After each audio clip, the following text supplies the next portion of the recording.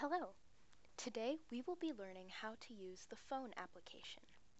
By the end of this video, you will know how to add contacts to your favorites, how to view recent and missed calls, how to view and add new contacts, and how to dial a phone number using the keypad. The first thing we will cover is how to add contacts to your favorite list. To begin, find the phone application. Next, go to the Favorites tab in the bottom left corner. Tap on the plus in the top left corner to add a contact to your favorites. And you can pick either saving their number as a text or as a phone call.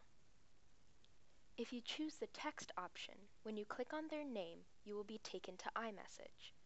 If you choose the phone option, you will be connected to a call with that person. If you want to delete a contact from your favorites list, tap on Edit in the top right corner, press the red minus button, and select Delete. Another way to do this is to simply swipe right on the name and press Delete. Now, let's look at how to view recent and missed calls. Begin by going to Recents, which is located at the bottom next to Favorites. Upon selecting Recents, your call log will appear. To the left of the number or saved contact name, you may notice some icons. This icon indicates that you made an outgoing audio call. This icon indicates that you made an outgoing FaceTime call. If there is not an icon present, then it was an incoming call. And if the number or contact is in red, it indicates a missed call.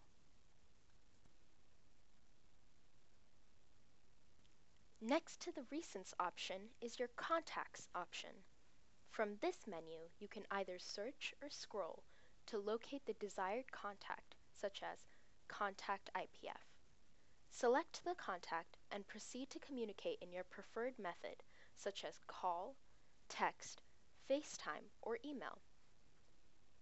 For additional information on how to communicate through text, FaceTime, or email, please check out our other instructional videos. By pressing the plus icon at the top right on the Contacts page, you can add a contact. If you would like to dial a phone number on the standard phone keypad, press the keypad button next to Contacts. After you have entered the number, including area code, simply press the green button underneath the keypad to initiate the phone call. Lastly, along the bottom of the screen is the option to access your visual voicemail. For a more detailed understanding of visual voicemail, please refer to our informative voicemail video. Now, you are able to use the phone application. Thank you for watching our training video.